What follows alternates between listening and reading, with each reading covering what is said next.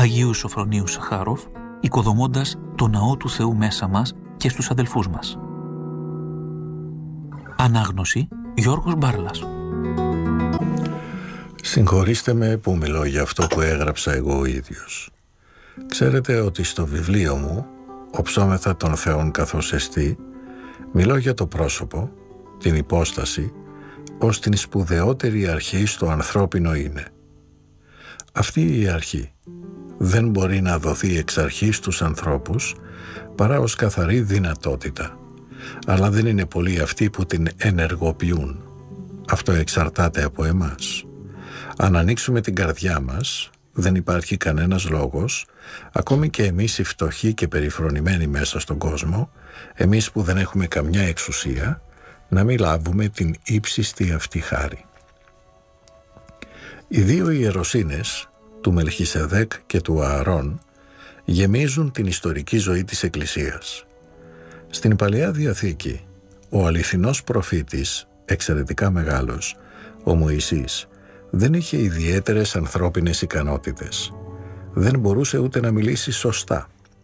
Τότε, όταν το παρουσίασε αυτό στον Κύριο ως λόγο που τον εμπόδιζε να αναλάβει να σώσει το λαό, ο Κύριος του είπε «Έχεις έναν αδελφό, τον Ααρών, φέρε τον μαζί σου».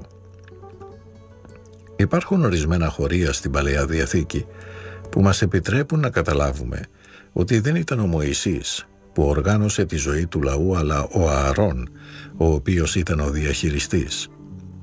Ο Μωυσής ήταν ο προφήτης. Δυσκολίες αναφάνηκαν για το Μωυσή διότι η ορατή εξουσία ανήκε στον Ααρών και αυτό συνέχισε έτσι ως τις ημέρες μας. Η εκκλησιαστική ιεραρχία είναι στο βάθος η διοίκηση της Εκκλησίας και αυτή είναι που ασκεί την εξουσία και όχι ο Μωυσής, ο Μελχίσεδέκ. Η τόλμη μας να γίνουμε μοναχοί στηρίζεται πάνω σε μια επιλογή που δεν είναι κατά την τάξη του Ααρών, αλλά κατά την τάξη του Μελχίσεδέκ. Γι' αυτό είπα ότι ο μοναχισμός, στην αυθεντική έκφρασή του, είναι ανώτερος της απλά θεσμικής ιεροσύνης. Οι μοναχοί όμως δεν έχουν κανένα δικαίωμα μέσα στην Εκκλησία. Και αυτό δίνει την εντύπωση ότι η υπεροχή ανήκει στην τάξη του Ααρών. Στο παρελθόν η Εκκλησία εξέλεγε τους επισκόπους της από τις τάξεις των έμπειρων και αληθινών μοναχών. Επέλεγε μάλιστα εκείνους που είχαν ζωή πλούσια από πνευματική εμπειρία.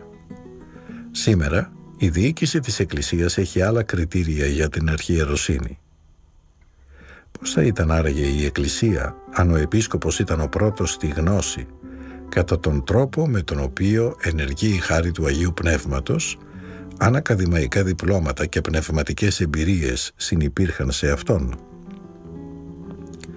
Βλέπουμε παράλληλα ότι οι εξαιρετικοί άνθρωποι, όπως ο Μάξιμος ο Ομολογητής, ο Άγιος Σιμεών ο Νέος Θεολόγος, ο Άγιος Σεραφείμ, έλαβαν την ύψιστη χάρη, αλλά δεν έλαβαν ποτέ εξουσία μέσα στην Εκκλησία. Αυτές είναι οι ιστορικές συνθήκες στις οποίες ζούμε και οφείλουμε να πραγματοποιήσουμε τη σωτηρία μας, να την οικοδομήσουμε και να γίνουμε ικανοί για τη Βασιλεία. Αυτή η έκφραση ανήκει στον Άγιο Μακάριο. Λέει ότι γίνεται κανείς ικανός, αλλά και ότι μερικοί είναι ανίκανοι για τη Βασιλεία. Αυτή η ικανότητα μπορεί να αποκτηθεί με την ασκητική ζωή, πράγμα γνωστό παραδοσιακά από τη δυσχυλιετή εμπειρία της Εκκλησίας. Αλλά η διαφορά μεταξύ του ιδανικού σκοπού και της εμπειρικής πραγματικότητας του κόσμου αποτελεί μια βαθιά τραγική πλευρά της ιστορίας.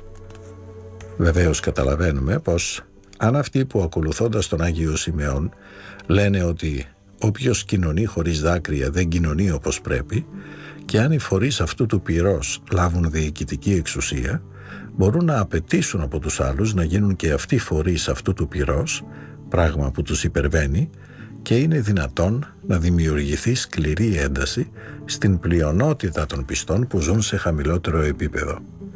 Για το λόγο αυτό, στο ιστορικό επίπεδο, συμβαίνει οι επίσκοποι να αντιπροσωπεύουν τη μέση ζωή, το χρυσό μέσον. Ελπίζω να με καταλαβαίνετε σωστά. Παρ' όλα αυτά διαφυλάσσουμε αυτή τη δομή της Εκκλησίας, διότι αν δεν το κάνουμε όλα θα διαλυθούν. Η Θεία Πρόνοια δεν διαθέτει άλλη λύση.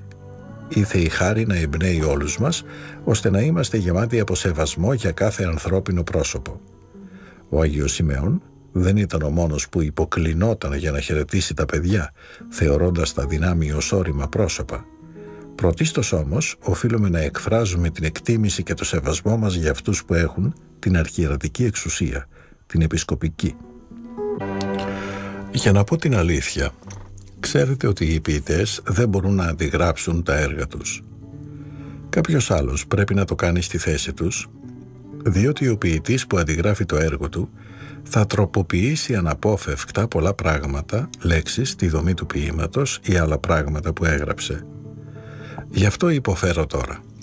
Δεν μπορώ να επαναλάβω το λόγο που είπα μία φορά. Η θεμελιώδης ιδέα δεν αλλάζει. Αλλά πώς να σας το παρουσιάσω. Αυτό που είναι κατά την τάξη του Άρων ίσως να είναι οργανωμένο, ελεγχόμενο εξωτερικά, αλλά ο μοναχισμός δεν ανήκει στην τάξη αυτή.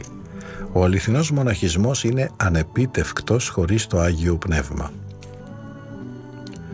Ο Άγιος Θεόδωρος ο Στουδίτης λέει ότι ο μοναχισμός είναι η τρίτη χάρη, η πιο υψηλή.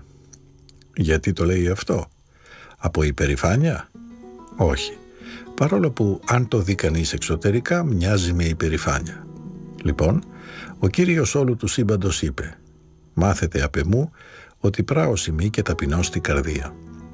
Υποφέρουμε πολύ από το γεγονός ότι η ιεραρχία, γενικά ομιλώ, δεν κατάλαβε όπως θα έπρεπε το μοναχισμό και τον καταπιέζει σε πολλές περιπτώσεις. Μοναχοί, όπως ο Όσιος Σεραφείμ, εδιώχθησαν καθ' όλη τη διάρκεια της ζωής τους. Οι γέροντες της Όπτινα περιφρονήθηκαν, τέθηκαν υπό έλεγχο, υποβλήθηκαν ακόμη και σε ποινές από την αρχιερατική εξουσία. Αλλά αυτό δεν εμπόδισε αυτούς, τους φορείς της χάριτος, να υπηρετούν τους ανθρώπους ερχόμενοι σε άμεση επαφή μαζί τους. Ο Αγίος Βαρσανούφιος ο Μέγας λέει ότι η ύψιστη μορφή της χάριτος φανερώνεται όταν ένας πνευματικός πατέρας έχει την εξουσία να συγχωρεί αμαρτίες. Αυτό είναι μια εξουσία που δεν μπορεί να τεθεί υπό έλεγχον όπως και το χάρισμα της προφητείας. Ο Μπρατσιανίνοφ έχει δίκαιο όταν λέει ότι υπάρχουν επιπόλαιοι άνθρωποι που σκέφτονται να διορθώσουν το μοναχισμό λαμβάνοντας εξωτερικά μέτρα – λέει ότι αυτό είναι ανόητο. Πράγματι, ο μοναχισμός είναι χάρη δοσμένη από το Άγιο Πνεύμα με απολύτως ελεύθερο τρόπο. Να μια ιστορία που έρχεται στο νου μου. Μια ημέρα, στο μοναστήρι του Αγίου Παντελεήμονος, ανέβηκα σε μια βάρκα για να συνοδεύσω έναν επισκέπτη. Αυτή η βάρκα ανήκε σε κάποιον μοναχό που ζούσε περιπλανόμενος και χάρη σε αυτήν κέρδισε κάποια χρήματα. Ζούσε με έναν τρόπο τελείως ελεύθερο, κοιμόταν κάτω από τα δέντρα ή στην ακροθαλασσιά. Αυτός ο επισκέπτης λοιπόν μου είπε με περιφρόνηση «Να που και στον Άθο βρίσκει κανείς τέτοιους τύπους». Τον ρώτησα «Αν πάρουμε το παράδειγμα του Πανεπιστημίου, των ανωτέρων σχολών, θα συναντήσει κανείς τους χώρους αυτούς κλητήρες, θυρωρούς, μαγείρους κλπ. Δεν φτάνουν όλοι στα ύψη της γνώσης, αλλά όλοι είναι απαραίτητοι. Αν εδώ στον Άθο δεν υπήρχε αυτός ο άνθρωπος που ζει με αυτόν τον τρόπο για να μας πηγαίνει στο μέρος που θέλουμε και υπήρχαν μόνο ασκητές του είδους αυτού που εσείς έχετε κατά νουν, θα έπρεπε να μετακινούμαστε με τα πόδια.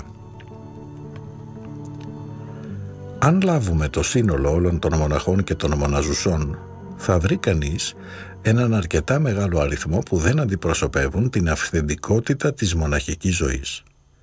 Αλλά όπως δεν κρίνουμε την αξία των ακαδημιών και των πανεπιστημίων από μία, δύο ή τρεις ιδιοφυΐες που εμφανίζονται κατά τη διάρκεια πολλών αιώνων, ας κρίνουμε κατά το ίδιο μέτρο και τον άθο. Υπάρχουν πολλοί μοναχοί, αλλά οι Άγιοι, οι πρικισμένοι από το Θεό για παντός είδους θαύματα είναι σπάνιοι.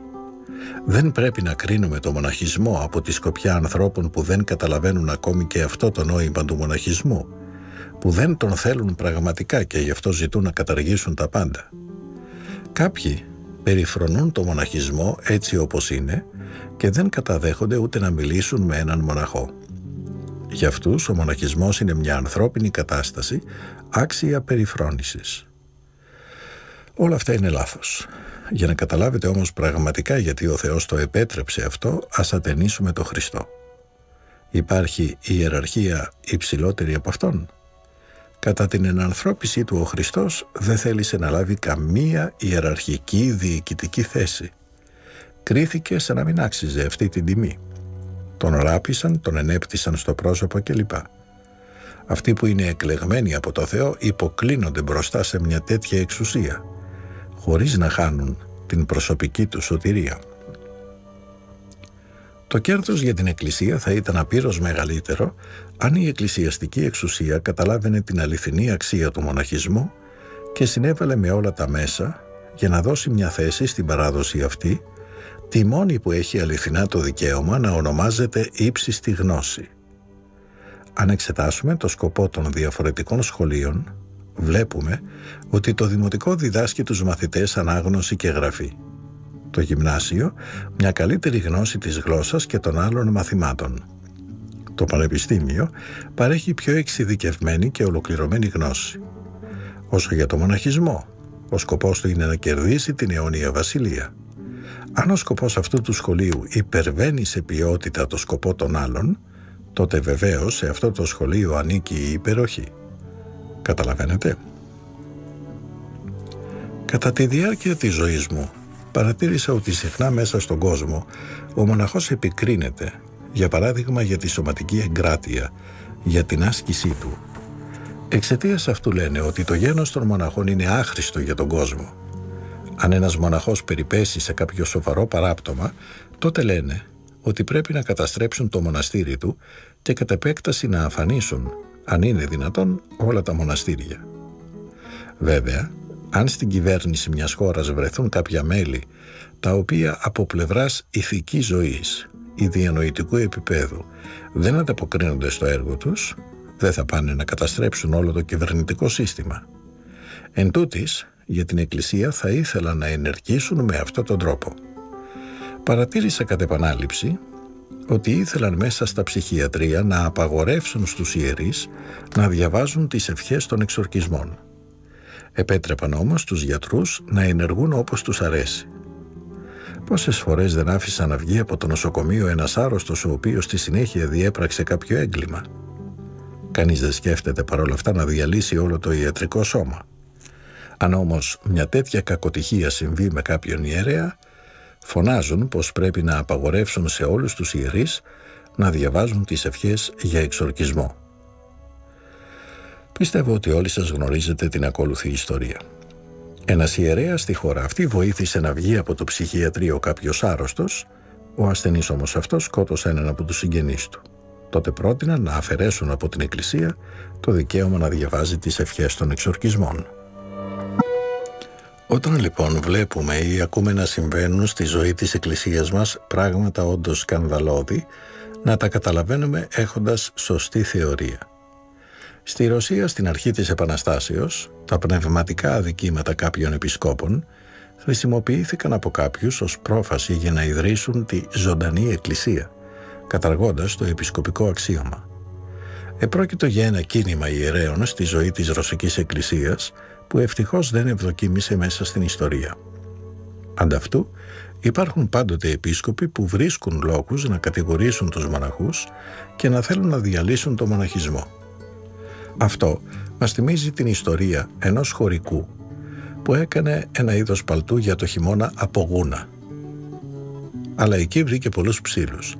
Τότε έκαψε το παλτό μαζί με τους ψήλους. Να τι πρέπει να αποφύγουμε. Πρέπει να καθαρίσουμε αυτό το πολύτιμο παλτό από τους ψήλους που έχει χωρίς να το κάψουμε. Καταλαβαίνετε, εμείς ας βαδίσουμε την οδό των πατέρων με υπομονή. Η καλύτερη μέθοδος για να διορθώσουμε την κατάσταση μέσα στην Εκκλησία είναι να προσευχόμαστε για αυτήν με κλάμα. Ο Σαβσαβάντζε, ένας Άγιος της Γεωργιανής Εκκλησίας, αρπάχθηκε στους ουρανούς όπου είδε τους Αγίους να κλαίνε για την Εκκλησία. Θα σας πω ότι εντυπωσιάστηκα από την όραση αυτή. Εκεί προσεύχονται για την Εκκλησία και αυτή είναι η καλύτερη οδός για να διορθώσουμε τα πράγματα, όχι η οδός των κρίσεων, των μη σωστών ενεργειών, των συκοφαντιών κλπ. Να έχετε λοιπόν μια σωστή, ευρεία θεώρηση των πραγμάτων και να ενεργείτε στην Εκκλησία με τρόπο εξίσου σωστό. Να κλαίτε για την Εκκλησία, να κλαίτε για όλη την ανθρωπότητα, γιατί για όλη την ανθρωπότητα, διότι ολόκληρη η ανθρωπότητα νοσεί.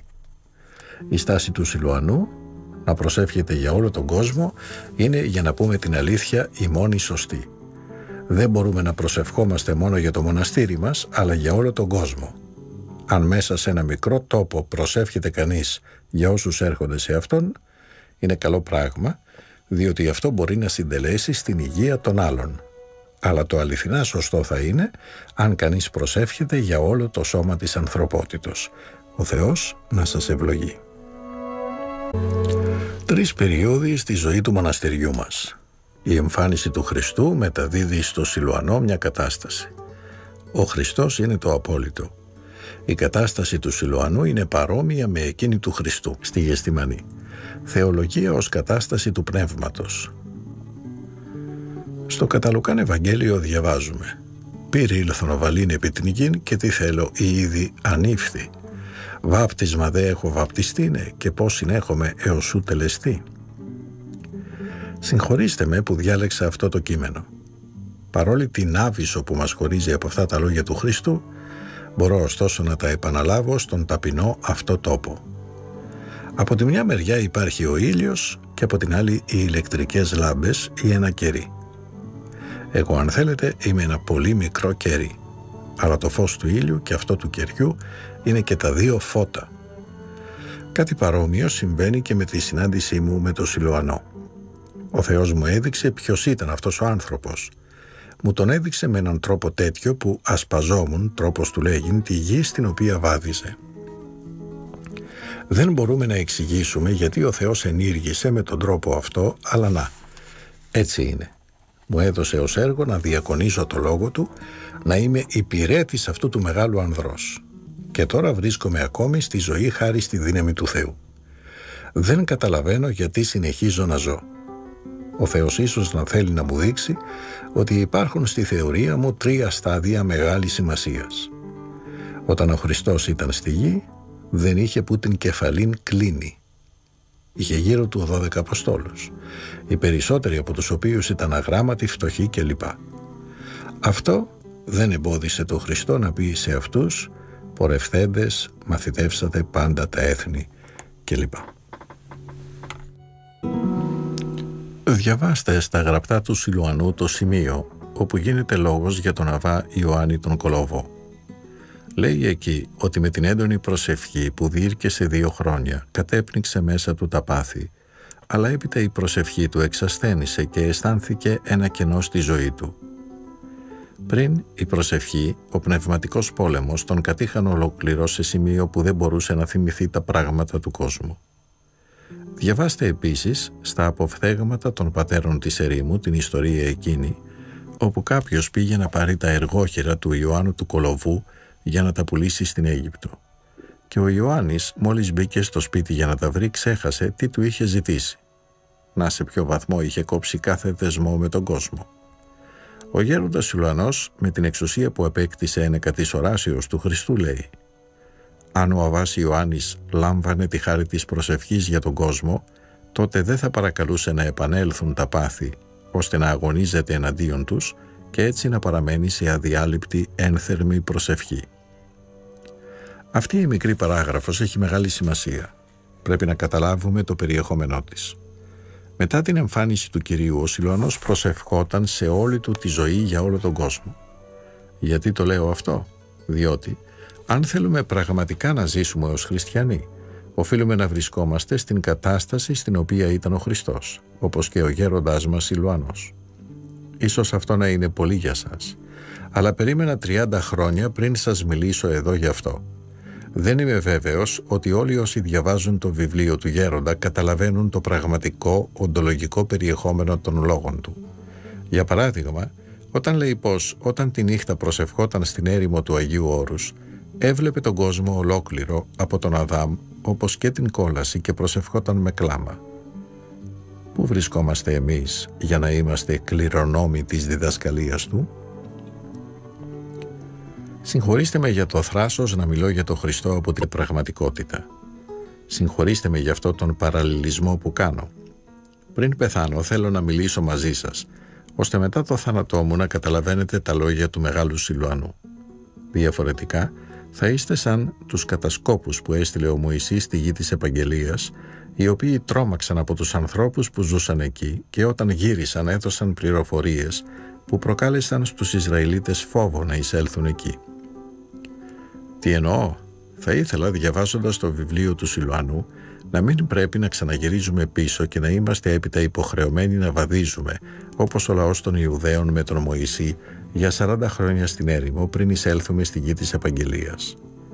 Κρατήστε σταθερά αυτή την εικόνα στη συνείδησή σας και θα καταλάβετε για ποιο πράγμα σας μιλώ εγώ που είμαι σχεδόν νεκρός. Η προσευχή μου είναι να γίνετε η αληθινή κληρονόμη του πνεύματος του Αγίου Σιλουανού. Και αν αυτή η εικόνα που μας παρουσιάζει το τροπάριο, ο ενέκτη ημέρατε και ώρα, γίνει το περιεχόμενο της ζωής σας, όλες οι μικρότητες, οι μικροδιαφορές μεταξύ σας θα εξαφανιστούν τελείως.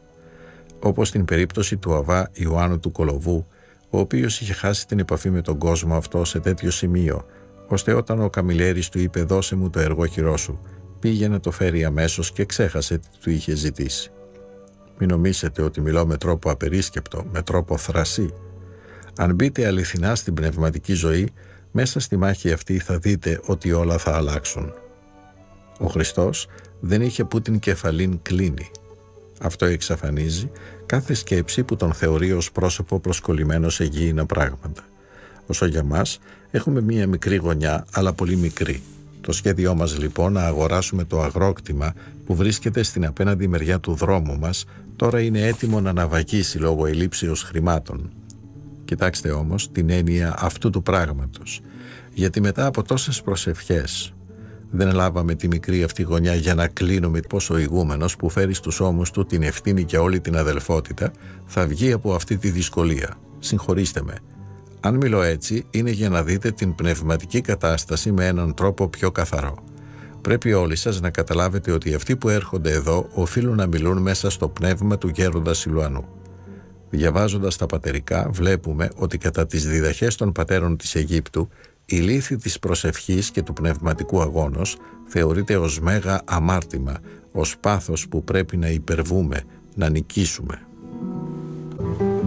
Όσοι μας βλέπουν από έξω δεν μπορούν να καταλάβουν τη ζωή μας. Αποτελεί για αυτούς για να μιλήσουμε με τέτοιο καθαρό τρόπο. Φανταστείτε πόσο πιο δύσκολο είναι να μεταφέρουμε τη γνώση αυτή μέσα στον κόσμο, να την κάνουμε προσιτή στο πλήθος. Όταν το πνεύμα μας ζει στη σφαιρική αυτή όραση του ανθρώπινου είναι και των σχέσεών μας με το δημιουργό και σωτήρα μας Θεό, φτάνει να χάνει κανείς τη λογική ακολουθία των σκέψεων και τα κατάλληλα λόγια για να εκφραστεί. Να γιατί σας παρακαλώ τώρα. Προσευχηθείτε για να καταλάβετε καλύτερα αυτό που θέλω να σας μεταδώσω σήμερα. Να είστε πιο σοβαροί στην καθημερινή ζωή της μονής μας και να κρατάτε πάντοτε το πνεύμα σας στα βαθιά και πνευματικά πράγματα. Με τη στάση αυτή θα αποφύγετε όλες τις μικροσυγκρούσεις που κάνουν τη ζωή μας, πώς να πω, φτωχή, μίζερη κλπ. Ο Χριστός είπε «Η βασιλεία των ουρανών βιάζεται και βιαστέ αρπάζουν στην αυτήν». Δηλαδή η βασιλεία αρπάζεται από το θράσος εντός εισαγωγικών των πιστών. Πρέπει να αρπάξουμε αυτή τη βασιλεία, να είστε συνετοί. Καταλαβαίνετε ότι μιλούμε για σοβαρά πράγματα. Διαφορετικά τα μικρά πράγματα θα καταλήξουν να μας συνθλίψουν. Για να διατηρήσουμε στον κόσμο αυτό το βλέμμα μας στραμμένο προς το Χριστό, μείνετε πάντοτε στην ατμόσφαιρα του πνευματικού μας πατρός. Αυτή η ζωή έχει τέτοιον χαρακτήρα που πολύ συχνά δεν υπάρχουν λόγια να την εκφράσει κανείς διότι υπερβαίνει κάθε λόγο. Κάποτε, αντί αυτού, ο λόγος έρχεται αλλά δεν ξέρει κανείς τι είναι καλύτερο. Να μιλήσει ή να σιωπήσει. Είμαστε ευτυχείς που ο Απόστολος Παύλος δεν σιώπησε αλλά εξέφρασε την εμπειρία της ζωής του. Παρατηρώντας τη ζωή του Σιλουανού, γίνεται ικανή να γνωρίσετε με αληθινό τρόπο το λόγο του για το μοναχισμό. Ο μοναχός είναι οικέτης για όλο τον κόσμο. Επαναλαμβάνω, Αν θέσετε αυτό το λόγο δίπλα στη συζήτηση του Σιλουανού που ανέφερα πιο πάνω, θα καταλάβετε ότι αν ο Αβάς Ιωάννης ο Κολοβός είχε λάβει την προσευχή για τον κόσμο, δεν θα είχε την ανάγκη να ζητήσει να επιστρέψουν σε αυτόν τα άθλια πάθη. Οικοδομήστε λοιπόν τη ζωή σας με τη μελέτη των γραφών του Σιλουανού για να προσλάβετε στο πνεύμα σας μια καθαρή όραση αυτού που συμβαίνει σε μας κάθε ημέρα και κάθε ώρα. Ο Σιλουανός, μολονότι είχε ζήσει πάνω από 40 χρόνια, σχεδόν μισό αιώνα, ανάμεσα στους πατέρες και τους μοναχούς, δεν μπόρεσε να τους μιλήσει για όλα αυτά που σας λέω σήμερα. Ο Θεός μου έδωσε ένα σεβασμό για τον άνθρωπο αυτό, μια διέστηση του αληθινού μεγαλείου του. Όταν μιλούσε, προσπαθούσα να διατηρήσω μέσα μου την ουσία των λόγων του χωρίς να τα κρίνω. Όταν δεν καταλάβαινα κάτι, δεν το αντέλεγα, αλλά περίμενα ο Θεός να μου δώσει να το αντιληφθώ καλύτερα. Γιατί μιλώ τόσο πολύ για το Σιλουανό; Αν διαβάσετε προσεκτικά το βιβλίο και προσεύχεστε να διεισδύσετε στο πραγματικό περιεχόμενο όλων των λόγων του, θα δείτε το υπέροχο μεγαλείο αυτού του ανδρός. Έχοντας λοιπόν λάβει από το Θεό έναν γέροντας σαν αυτόν, θα ήταν αληθινό έγκλημα να μην τον εκμεταλλευτώ και να μένω διαρκώς στα χαμηλά της γης, μέσα στο βόρβορο των μίζερων πραγμάτων. Συγχωρήστε με και προσεύχεστε για μένα. Εγκολποθείτε την προσευχή. Ο Θεός να σας ευλογεί. Βασιλική ιεροσύνη των μοναχών και θεσμική ιεροσύνη των επισκόπων. Η Παναγία κατέχει τη χάρη της υπέρτατης ιεροσύνης. Τι είναι η βασιλική ιεροσύνη; Η ιεροσύνη κατά την τάξη Ααρών και κατά την τάξη Μελχίσεδέκ. Η εξουσία του Ααρών κυριαρχεί στην Εκκλησία και συνθλίβει το μοναχισμό. Αληθινός μοναχός δεν γίνεται κανείς παρά μόνο από το Πνεύμα το Άγιο. Ευλογητός ο Θεός. Μου δίνει πάλι μια ευκαιρία να μιλήσω μαζί σας επελπίδη παρελπίδα. Για να πω την αλήθεια, ετοιμάστηκα να σας πω ένα λόγο πολύ σημαντικό. Την απάντηση σε ένα γράμμα του πατρός Πλακίδα.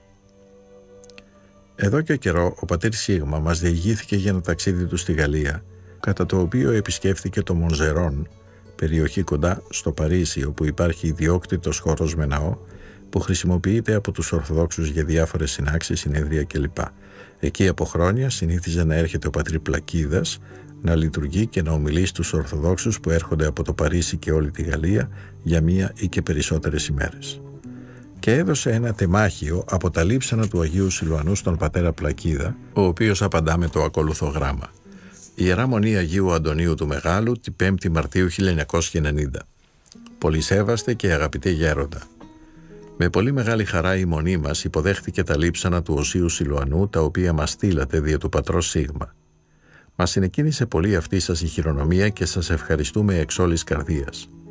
Η παρουσία αυτή του Αγίου Σιλουανού στην Εκκλησία μας ενδυναμώνει ακόμη περισσότερο το σύνδεσμο που υπάρχει ανάμεσα στο μοναστήρι σας και στο δικό μας. Θα ήθελα να σας στείλω πολλές φωτογραφίες του ναού και της καταστάσεως στην οποία τώρα βρίσκεται, αλλά ο φωτογράφος που τις τράβηξε καθυστερεί λίγο και δεν ήθελα να περιμένω περισσότερο να σας γράψω. Θα σας τις στείλω λοιπόν λίγο αργότερα όταν θα τις έχω. Οι βασικές εργασίες του ναού έχουν σχεδόν τελειώσει. Δεν μένει παρά να τελειώσουμε τη στέγη και να τοποθετήσουμε τα κεραμίδια. Ο πατήρ Σεραφείμ μόλις τελείωσε 40 ξύλινα στασίδια. Τώρα πρόκειται να κάνει για τα παράθυρα τα καφασωτά χωρίσματα με τζάμι στα διάχωρα. Έπειτα θα σκαλίσει σε ξύλο το τέμπλο. Κάποιος άλλος αδελφός, ο πατήρ Θεοδόσιος, κάνει το σκάλισμα που θα χρειαστεί να γίνει πάνω σε πέτρα. Απομένει να γίνουν τα επιχρήσματα στους τοίχους, η πλακόστρωση και η εγκατάσταση της θέρμανσης είναι αδύνατο να υπολογίσουμε πόσος χρόνος θα χρειαστεί να τελειώσουν όλα αυτά, διότι όλα εξαρτώνται από τη γενεοδορία των δωρητών. Είναι όμως ήδη ένα θαύμα που μπόρεσαν να γίνουν όλα αυτά. Αυτό το χρόνο, το θέμα των μηνιαίων συνάξεών μας στο Μονζερόν είναι η ανάγνωση των γραφών του Οσίου Σιλουανού και ο σχολιασμός τους. Εκπλήττομαι βλέποντας την ασυνήθιστη πνευματική πυκνότητα των κειμένων αυτών, ενώ ταυτόχρονα είναι τόσο επίκαιρα. Έχοντας την προσευχή μου τους μοναχούς και τις μοναχές σας, σας εκφράζω και πάλι πολυσέβαστε Πάτερ όλη την ευγνωμοσύνη μας και τη βαθιά εν Κυρίω Χριστό Ιησού αγάπη μας. Αρχιμανδρίτης Πλακίδας. Στο ρωσικό στρατό συχνά άκουγε κανείς την έκφραση «μαλαντιέτς, μαλαντσί» Μπράβο αγωνιστή. Η έκφραση αυτή μπορεί να εφαρμοστεί στον πατέρα Πλακίδα και σε όλους όσοι είναι μαζί του. Πραγματικά αποτελούν μια ομάδα με πολύ καλό γούστο. Έχουν μεγάλο πόθο να κτίσουν έναν αληθινό ναό μέσα στο μοναστήρι τους. Θα είναι πολύ διαφορετικός από αυτόν που κτίσαμε εμείς. Εμείς συναντήσαμε πολλές δυσκολίες. Δεν μπορούσαμε να κτίσουμε τίποτε που να θυμίζει ορθόδοξο ναό εξαιτίας της αρνητικής τάσης του τοπικού πληθυσμού που δεν ήθελε να αλλοιώσει τον ιδιαίτερο χαρακτήρα του τόπου με οικοδομές ενός διαφορετικού, εξωτικού κατά αυτούς στυλ. Γι' αυτό το λόγο υποχρεωθήκαμε να παρουσιάσουμε ένα σχέδιο με τα πλέον απαραίτητα. Ένα κτίριο με τέσσερις τείχους σαν μια αποθήκη. Έπρεπε να βρούμε κάποιο μέσο να χρησιμοποιήσουμε αυτή την πολύ απλή κατασκευή για να πραγματοποιήσουμε το σχέδιό μας και το κάναμε αυτό με το πνεύμα που κυριαρχούσε στη Ρωσία κατά τη διάρκεια του διωγμού και που συνεχίζει να κυριαρχεί σήμερα από όσα γνωρίζω. Δεν κατασκευάζουμε αληθινό ναό, αλλά μάλλον οίκο προσευχής. Αντιθέτως, ο πατρί Πλακίδας και οι μοναχοί του έκτισαν μία εκκλησία τέσσερις φορές πιο μεγάλη από τη δική μας, σε βυζαντινό ρυθμό. Από τις φωτογραφίες που μας έστειλε ο πατρί Πλακίδας είναι πραγματικά αξιοθαύμαστη. Έτσι, ο μικρός μας ναός είναι ο πρώτος που φέρει το όνομα του Αγίου Σιλουανού. Αλλά ο ναός που κτίστηκε στο μοναστήρι του Αγίου Αντωνίου του Μεγάλου στη Γαλλία θα είναι πιο μεγαλοπρεπής. Ως απάντηση στο γράμμα του, σκεφτόμουν να μιλήσω όσο μου είναι δυνατόν για την κατάσταση του ανθρώπου που προσεύχεται για όλη την ανθρωπότητα ή όπως εκφράζεται από τους πατέρες για όλο τον Αδάμ. Δεν έχω όμως τις δυνάμεις να το κάνω σήμερα. Βλέποντας την κατάσταση της αδυναμίας στην οποία βρίσκομαι, σκέφτομαι να επαναλάβω σήμερα αυτό που είπα την τελευταία φορά με θέμα τη βασιλική ιεροσύνη, το βασίλειον ιεράτευμα για το οποίο ομιλεί ο Απόστολος Πέτρος. Πρόκειται για την ιδέα ότι η Παναγία κατέχει όλες τις υπάρχουσες μορφές της χάριτος του Αγίου Πνεύματος, συμπεριλαμβανομένης και της ανωτέρας ιεροσύνης. Στο κεφάλαιο για το μοναχισμό, ο Άγιος Ιλωανός αρχίζει ως εξής. Ο μοναχός είναι οικέτης για όλο τον κόσμο, θρηνεί για όλο τον κόσμο και σε αυτό έγκυται το κύριο έργο του. Αυτό το λόγο απίφθηνε η Παναγία προς τον Παρθένιο, έναν ασκητή του 19ου αιώνα στο Κίεβο, όταν εκείνος θέλησε να κατανοήσει την έννοια του μεγάλου μοναχικού σχήματος που είχε λάβει. Ο Άγιος Ιλουανός επαναλαμβάνει λοιπόν τα λόγια της Παναγίας. Ήδη όμως πριν από έξι αιώνες ο Άγιος Γρηγόριος ο Παλαμάς στην ομιλία του στα εισόδια της Θεοτόκου είπε ότι η Παναγία προσευχόταν για όλο τον κόσμο. Βλέπουμε από τότε να εμφανίζεται στο ομοφόριο των επισκόπων η παράσταση της Παναγίας να προσεύχεται για όλο τον κόσμο. Η Παναγία είναι έτσι ένας διάβλος, ο πρώτος που ενώνει το ανθρώπινο γένος με τον αιώνιο Θεό. Είχε γνωρίσει μια γυναίκα χωρίς να έχει νυμφευθεί. Δεν μπορούσε σύμφωνα με το κανονικό δίκαιο να γίνει ιερέας κατά την τάξη Ααρών. Έλαβε όμως χάρη απείρως μεγαλύτερη αυτήν της προσευχής για όλο τον κόσμο με τέτοιο τρόπο που προσευχόταν βυθισμένος στο κλάμα. Προσευχόταν για όλη την ανθρωπότητα όπως για τον εαυτό του. Κατά βάθος, αν ο Απόστολος Παύλος γράφει πως πρέπει να έχουμε τις ίδιες εμπειρίες, το ίδιο φρόνημα, ο και εν Χριστώ Ιησού, τότε αυτό αποτελεί την αληθινή ιεροσύνη κατά την τάξη Μελχισεδέκ. Αυτό που είναι θαυμάσιο στη Θεία Πρόνοια είναι αυτός ο πιο υψηλός, ο πιο υπέροχος τύπος της ιεροσύνης που μπορεί να λάβει κάθε χριστιανός ανεξάρτητα από την ηλικία, το φύλλο κλπ. Κανείς δεν στερείται αυτό το δικαίωμα και αυτό εξαρτάται από δύο παράγοντες, από το Άγιο Πνεύμα και από το ίδιο το πρόσωπο. Έχουμε ήδη μιλήσει γι' αυτό. Είναι εύκολο να καταλάβουμε ότι το δένδρο, η ανθρωπότητα, στη ρίζα του οποίου βρίσκεται ο Αδάμ, μεγάλωσε υπερβολικά και ότι καθένας από εμάς είναι ένα φύλλο ή ένα μικρό κλαδί του μεγαλειώδους αυτού δένδρου. Πρέπει να κρατήσουμε τη συνείδηση ότι δεν είμαστε χωρισμένοι από το μεγάλο αυτό παγκόσμιο σώμα της ανθρωπότητας. Άλλο πράγμα είναι όμως να ζήσουμε όπως το έζησε στην προσευχή της η Παναγία ή στις ημέρες μας ο Άγιος Σιλουανός. Αυτός ο βαθμός της συνειδήσεως μπορεί βεβαίως να αποκτηθεί με κάποια μορφή στο φιλοσοφικό επίπεδο ή καλύτερα στο θεολογικό. Αλλά η διανοητική αυτή διέστηση δεν είναι ακόμη αυτό που βλέπουμε στην προσευχή του προσώπου που είναι βυθισμένο στο κλάμα για την ανθρωπότητα. Πράγματι, Το πρόσωπο αυτό ζει μέσα στο ίδιο του το σώμα την τραγωδία της πτώσεως. Γι' αυτό είπα ότι η χάρη αυτή είναι υψηλότερη από τη χάρη της αρχιερατικής ιεροσύνης. Σε μια συζήτηση που είχαμε Σέρβους φοιτητές, εξέφρασα την άποψη ότι αφού αυτή η μορφή ιεροσύνης προσφέρεται σε όλους, θα ήταν ευχής έργο να βλέπαμε τους φορείς της ιεροσύνης κατά την τάξη ιαρών να μετέχουν εξίσου. Αυτή η ιεροσύνη ως λειτουργία ελεγχόμενη από την εκκλησιαστική ιεραρχία δεν έχει από μόνη της τη δύναμη της προσευχής για την οποία μιλούμε, αλλά πρέπει να ευχηθούμε και αυτή επίσης να μπορεί να ενδυθεί τη βασιλική ιεροσύνη κατά την τάξη Μελχίσεδέκ. Και όλοι εσείς που είστε εδώ παρόντες μπορείτε να λάβετε αυτή την ιεροσύνη, την αληθινή ιεροσύνη. Για τη θεσμική ιεροσύνη, η ιεραρχία ψάχνει πρόσωπα ικανά να μάθουν ορισμένα πράγματα και εκτιμά τις ικανότητες αυτών των προσώπων ώστε να γίνουν ιερείς. Όσο για την άλλη η ιεροσύνη είναι άλλο πράγμα. Είναι λίγο σαν αυτό που λέει για παράδειγμα ο γέροντας Σιλουανός σχετικά με την ταπείνωση. Κάνει διάκριση ανάμεσα στην ασκητική ταπείνωση, την ψυχολογική αν θέλετε και την ταπείνωση του ίδιου του Θεού. Η διαφορά μεταξύ των δύο αυτών μορφών ταπεινώσεως είναι πολύ σημαντική, διότι στη δεύτερη περίπτωση πρόκειται για μια ιδιότητα του Θείου είναι που είναι άκτιστη. Η άκτιστη αυτή ταπείνωση μας δίδεται από την ενέργεια του Αγίου Πνεύματος όταν ζούμε μέσα μας όλο τον Αδάμ κατά την έκφραση των πατέρων. Προσευχηθείτε να με συγχωρήσει ο Θεός που μιλάω για τέτοια πράγματα. Διακρίνω τρεις περιόδους στη ζωή του μοναστηριού. Η πρώτη συνδέεται με το πρόσωπο και το έργο που βρίσκονται στη βάση όλης μας της ζωής, του Σιλουανού και των γραφών του.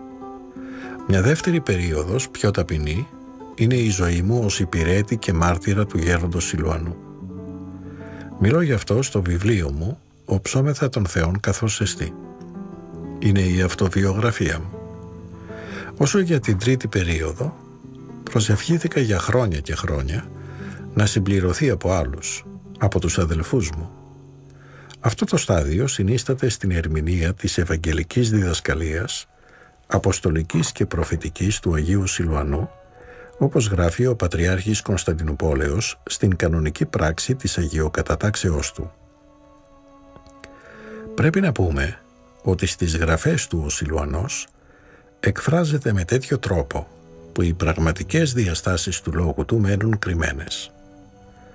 Ο Μητροπολίτης Περγάμου, κύριος Ιωάννης, που είναι τόσο κοντά μας, είπε ότι θα μπορούσε να γράψει κανείς ένα ολόκληρο βιβλίο από κάθε γραμμή που έγραψε ο Σιλουανός. Και θα προσθέσω ότι το πραγματικό μεγαλείο αυτού του ανθρώπου μένει κρυμμένο σε μας. Δεν εγγίζουμε αυτή την κορυφή. Ήθε ο Θεός να εισακούσει την προσευχή μου και το μοναστήρι μας να εισέλθει στην τρίτη αυτή περίοδο όπως το ελπίζω. Ο καθένας από εσάς μπορεί να συνεισφέρει στην οικοδομή αυτή και να παίξει το ρόλο του. Τι σκέφτομαι; Όταν συνάντησα τον γέροντα Σιλουανό, είχα το βαθύ και ζωντανό αίσθημα ότι ο λόγος που άκουσα από αυτόν είχε δοθεί για τον αιώνα μας. Θέλω τώρα να συγκρατήσω τον εαυτό μου, αλλά θα ήθελα παρόλα αυτά η ελπίδα μου να γεμίσει τις καρδιές σας. Το επαναλαμβάνω.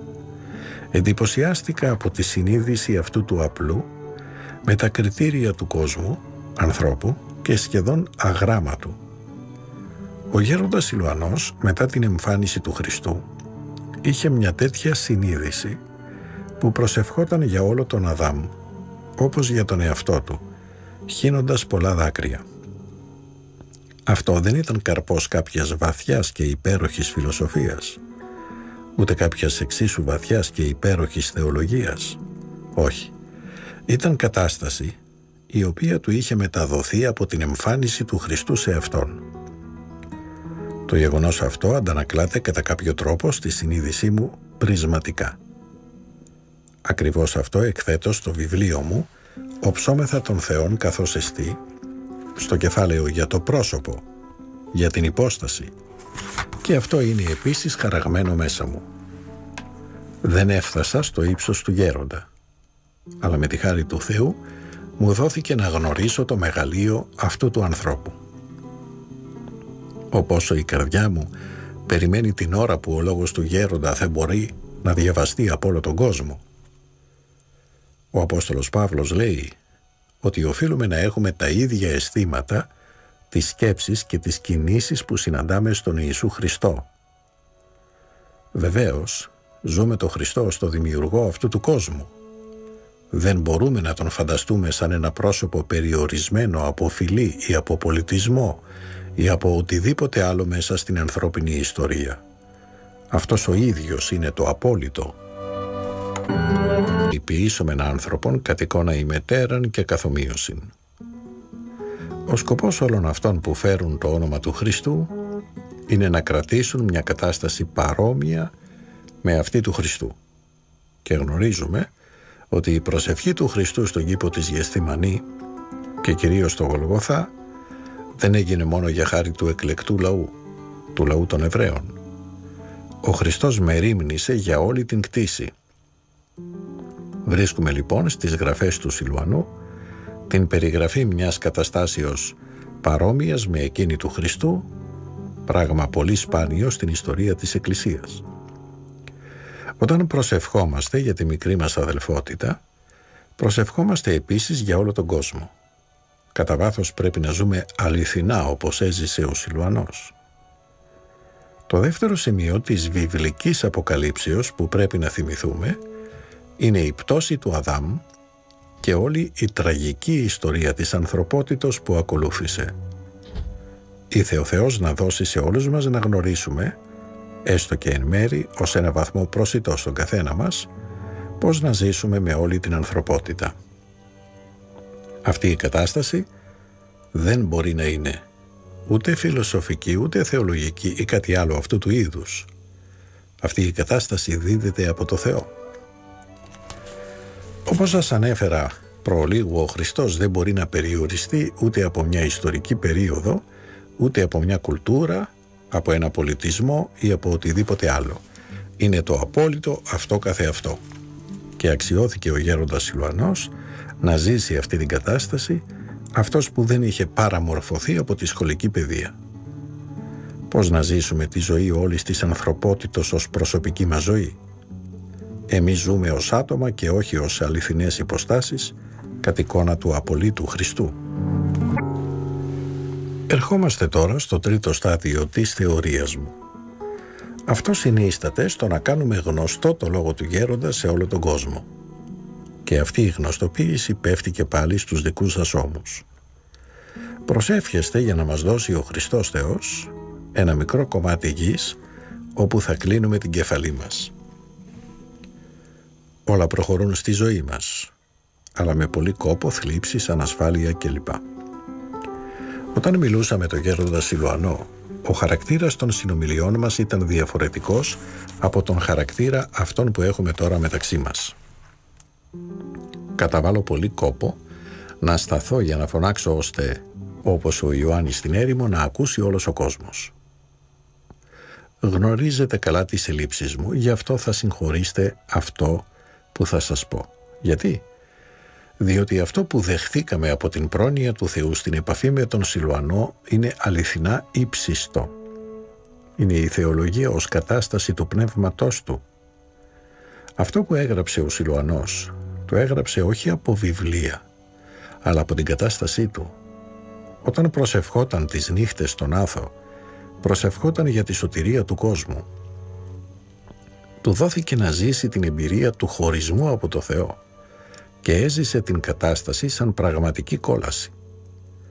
Γι' αυτό και δεν ήθελε να βρίσκεται κανείς στην κατάσταση αυτή.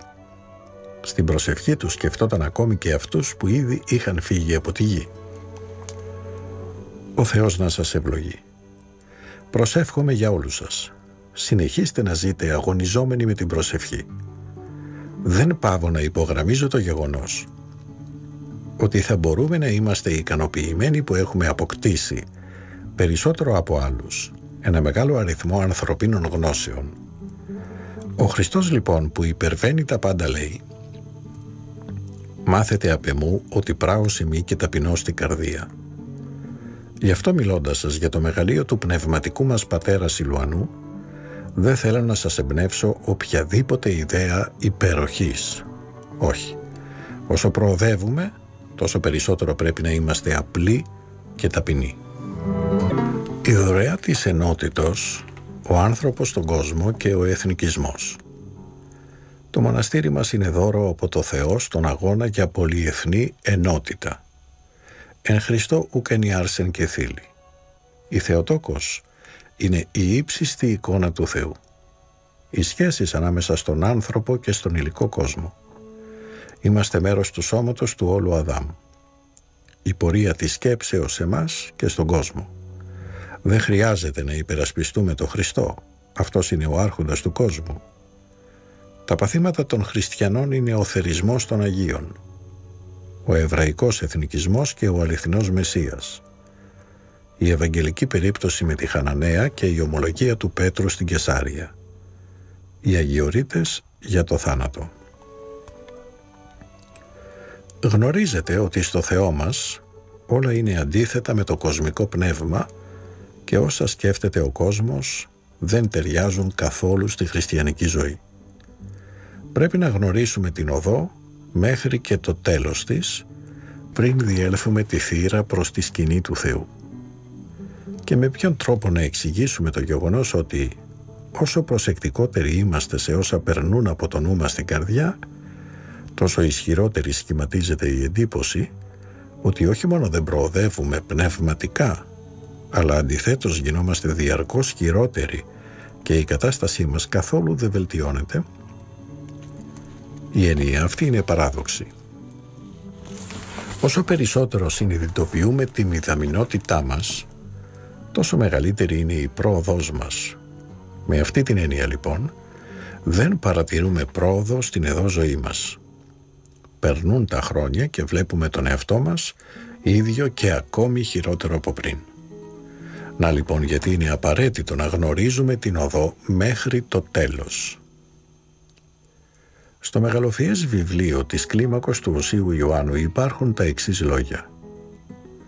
Περισσότερο απ' όλα, ως επτέ φίλε μου, μας χρειάζεται δύναμη πνευματική, ώστε αυτούς που επιχειρήσαμε να τους εισαγάγουμε στα Άγια των Αγίων και αποφασίσαμε να τους δείξουμε τον Χριστόν αναπαυόμενον επάνω στη μυστική και κρυφή τράπεζα, όταν τους ειδούμε να πιέζονται και να στενοχωρούνται, και μάλιστα εις αυτά τα πρόθυρα της εισόδου από τον όχλο των πειρασμών που θέλουν να τους εμποδίσουν τότε ας τους πιάσουμε από το χέρι σαν τα νήπια και ας τους ελευθερώσουμε από τον όχλο των λογισμών αυτών. Και εάν μερικοί από αυτούς είναι πολύ νήπιοι ή αδύνατοι, τότε είναι ανάγκη να τους σηκώσουμε και να τους κρατήσουμε στους ώμους μας μέχρι ότου περάσουν από τη θύρα της πραγματικά στενής εισόδου διότι σε αυτό το σημείο συναντάται συνήθως όλη η αποπνικτική πίεση και θλίψεις. Γι' αυτό και κάποιος έλεγε για αυτήν «Τούτο κόπος εστίν ενώπιόν μου, έως σου εισέλθω εις το αγιαστήριον του Θεού». Κλίμαξ, λόγος προσπιμένα. Δεν πρέπει ποτέ να λησμονήσουμε γιατί είμαστε εδώ, για ποιο λόγο ήρθαμε στο μοναστήρι, ποιο σκοπό έχουμε – γιατί αν το λησμονήσουμε αυτό, η ζωή μας από πολύ σπουδαία και άγια θα καταντήσει μηδαμινή, τυποτένια και ανώφελη. Αν ο νους και η καρδιά μας δεν ορμούν προς την τελική στιγμή της συναντήσεως με τον ζώντα Θεό, με στόχο την αιώνια ζωή εν αυτό και συν αυτό, η ζωή μας θα γίνει ανιαρή, άχαρη καταστρέφουμε τη διάθεσή μας και μαλώνουμε για μικροπράγματα ξεχνώντας τα μεγάλα. Αν όμως υπερνικήσουμε μέσα μας την τάση αυτή, τότε οι μικρές προστριβές για ασήμαντα πράγματα, κάτι που μέχρι και τώρα μερικές φορές παρατηρούμε, δεν θα έχουν τέτοια ισχυρή επίδραση στη ζωή μας. Πριν ακόμη αφήσει ο Χριστός τους μαθητές του και ανέλθει προς τον Πατέρα είπε πορευθέντες μαθητεύσατε πάντα τα έθνη, βαπτίζοντες αυτούς εις το όνομα του Πατρός και του Ιού και του Αγίου Πνεύματος, διδάσκοντες αυτούς τηρήν πάντα όσα ενετιλάμιν ημίν. Και ειδού εγώ με θυμώνει μη πάσα στα ημέρας έως τη συντελείας του αιώνος. Αμήν. Βλέπετε πώς σκεφτόταν, πώς συλλογιζόταν ο Χριστός. Να γιατί είναι τόσο πολύτιμη για μένα η μικρή μας αδελφότητα, διότι σε μας υπάρχει κάποια προσπάθεια να περιλάβουμε πάντα τα έθνη. Είμαι ευγνώμονος στο Θεό για ό,τι ήδη μας έδωσε. Θα ήθελα λοιπόν όλοι εσείς να διατηρήσετε πραγματικά στη συνείδησή σας τη δωρεά του Θεού σε μας με τις ευχές του Αγίου Σιλουανού. Έπειτα ο Απόστολος Παύλος συνεχίζει «Εν Χριστώ ούκεν άρσεν και φίλοι». Από ποια άποψη δεν υπάρχει; Δεν υπάρχει από την υψίστη άποψη. Στην ορμή μας προς το Θεό, το φίλο δεν αποτελεί πρωταρχικό φαινόμενο. Είναι μια από τις δυσκολίες που πρέπει να υπερπηδήσουμε. Και τότε ζούμε πλέον φυσική ζωή. Ωστόσο, όπως μας απέδειξε η πείρα, το βήμα αυτό δεν είναι προσιτό στον τρόπο σκέψεως πάρα πολλών ανθρώπων, ακόμη και ευσεβών. Η τάση τους είναι να καταγίνονται πάντοτε με το χαμηλότερο επίπεδο. Βεβαίως όλοι διατρέχουμε τον κίνδυνο να πέσουμε. Αλλά αν ο Θεός επιτρέψει κάτι άλλο, γιατί να το αρνηθούμε; Πάρτε το εξής παράδειγμα. Πολλοί κατέκριναν τον Απόστολο Παύλο που λέει «Μη ουκα έχουμε εξουσία να αδελφήν γυναίκα περιάγειν, ως και οι λοιποί Απόστολοι». Πριν ακόμη συναντηθούμε εδώ, σκέφτηκα να ζητήσω από όλους να μου γράψετε ποιο ερώτημα προβάλλει μπροστά σας αυτή τη στιγμή, ώστε να μιλήσω για εκείνο που αληθινά σας απασχολεί στην πρακτική εφαρμογή. Και έλαβα ένα σημείωμα με μεγάλα γράμματα στα γαλλικά. Ποια είναι η σχέση του ανθρώπου με τον υλικό κόσμο; Το ερώτημα αυτό θα μπορούσε να αποτελέσει θέμα διδακτορικής διατριβής και είναι αδύνατο να απαντηθεί σε μερικά λεπτά. Όταν πήρα το σημείωμα αυτό, θυμήθηκα την εποχή που ζούσα σε κελί ένα χιλιόμετρο μακριά από το μοναστήρι για να έχω τη δυνατότητα να ησυχάσω. Κάποια φορά όταν έφευγα για το ησυχαστήριό μου ο γέροντας με ρώτησε «Ε, πώς τα περνάς» Του απαντώ «Προσεύχομαι και μου φαίνεται ότι λησμονώ τον κόσμο αλλά αισθάνομαι το σώμα μου». Τότε ο Σιλουανός είπε «Και τι είναι το σώμα μας» Μήπως αυτό δεν είναι κόσμος; Σκεφτείτε, για χρόνια μοιραζόμαστε κοινό τραπέζι. Τρώμε το ίδιο φαγητό που ετοιμάζεται για όλους. Και το σώμα, αν και για τον καθένα είναι δικό του, αποτελείται από τα ίδια στοιχεία όπως και τα άλλα. Η σύντομη όμως συνομιλία με το γέροντα φανερώνει την ίδια αυτή σκέψη, αλλά επίσης ξεδιπλώνει μπροστά μας έναν τεράστιο πίνακα – το σώμα μας, που αποτελείται από τα ίδια στοιχεία, είναι μέρος του κολοσιαίου δένδρου της ανθρωπότητος. Αν δεν λησμονούμε δηλαδή το σώμα μας, δεν λησμονούμε τον κόσμο. Όταν λοιπόν σκεφτόμαστε με αυτόν τον τρόπο, η ζωή μας πάβει να είναι ανιαρή και έρχεται η συνείδηση για την οποία ομιλεί ο Σιλουανός, ο πατέρας μας. Προσευχή για όλο το σώμα, για όλο τον Αδάμ.